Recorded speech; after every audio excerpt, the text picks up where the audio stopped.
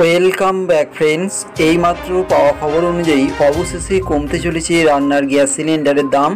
আগামী পয়লা আগস্ট থেকে বিভিন্ন কোম্পানির তরফে জারি করা হয়েছে এক নির্দেশিকা, যেখানে এই নির্দেশিকার জন্য জারি হতে পারে রান্নার গ্যাস সিলিন্ডারের নতুন দাম। তো অবশেষে গ্যাস সিলিন্ডারের মাসের দাম কত হতে পারে বা এই নিয়ে বিস্তারিত কি জানানো হয়েছে, সমস্ত কিছু তথ্য জানতে ভিডিওর নিচে থাকা লাল রঙের সাবস্ক্রাইব বাটনে প্রেস করার পর ভিডিওটিকে জনস্বার্থে প্রচুর পরিমাণে শেয়ার করবেন যাতে প্রত্যেকটি মানুষ খবরটি জানতে পারে। মধ্যবিত্তের হিসেলে স্বস্তি, আগামী পয়লা আগস্ট থেকে কমছে রান্নার গ্যাসের দাম। একদিকে করোনা সংক্রমণ, অন্যদিকে আর্থিক মন্দা সানাসি অভিযানে বিদ্যুৎ সাধারণ মানুষ।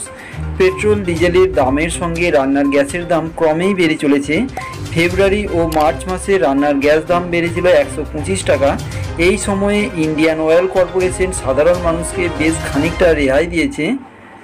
ইন্ডিয়ান অয়েল কর্পোরেশনের পক্ষ থেকে রান্নার গ্যাস সিলিন্ডার প্রতি সিলিন্ডার পিছু দশ টাকা কমানোর সিদ্ধান্ত নিয়েছে। গ্যাসের নতুন দাম আগামী পয়লা আগস্ট থেকে কার্যকর হবে।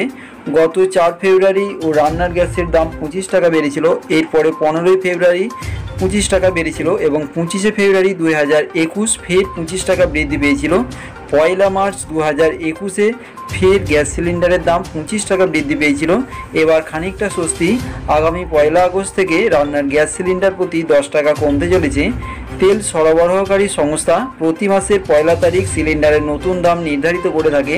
তাই পয়লা এপ্রিল থেকে, পয়লা আগস্ট থেকে রান্নার গ্যাস সিলিন্ডারের প্রতি সাধারণ মানুষকে দশ টাকা করে দাম কম দিতে হবে।